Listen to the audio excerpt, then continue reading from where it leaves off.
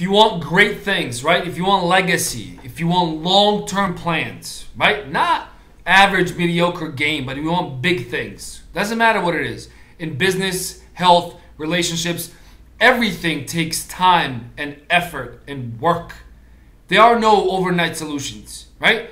People want to lose weight. Everybody's like, "Oh, I wish I could just, you know, do it overnight. Let me go have a procedure done, or I'm looking for the magic pill." That doesn't work. We all know that doesn't work, right?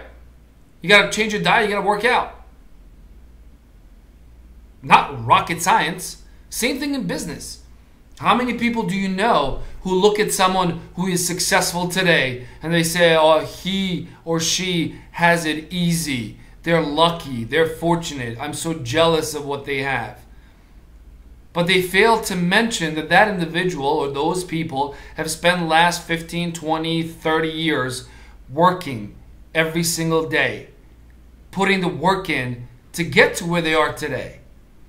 Anything that's worth and valuable from your relationships to businesses to many other professional and personal opportunities, they all take work, dedication, sacrifices, and commitment.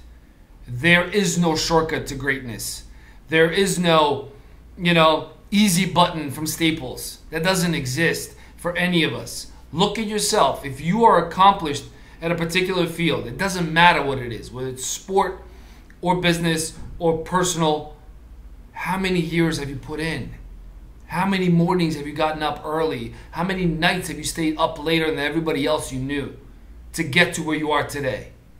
So there are no shortcuts in life to great things. Everything requires work, effort, and long term planning and long term vision.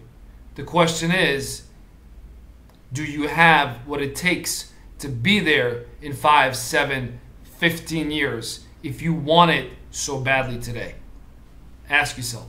Have a wonderful day. I wish you all the best.